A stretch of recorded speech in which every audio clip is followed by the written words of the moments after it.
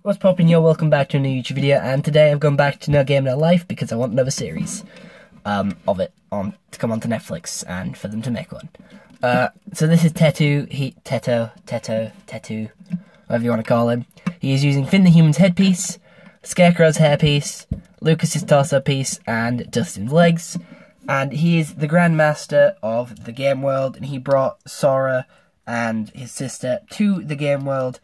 Um, and he's like wants them to bring balance to it and make the humanity uh people humanity they it always annoyed me. It was never like humanity it was like manatee or something. Imanities i just call it humanity not imanity really annoyed me. Um but off the side rant. Um he's the king I think, grandmaster, grand like person, and he thinks they're worthy to play. But to get to his level, they have to beat all the other levels.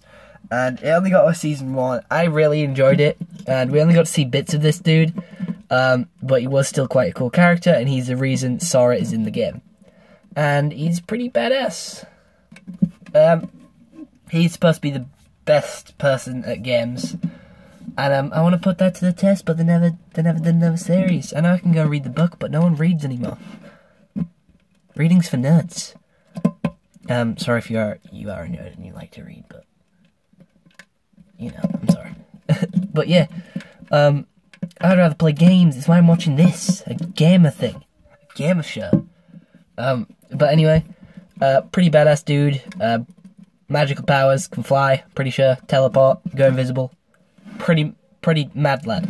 Pretty cool mad lad. Um, the hat I would prefer to be more of a ball, but this one fits. And I'm not sure if he's blonde or not, I kind of forgot. But other than that, I hope you all enjoyed this YouTube video. I'll see you all next one. Have a nice day, and goodbye. Stay home and stay safe.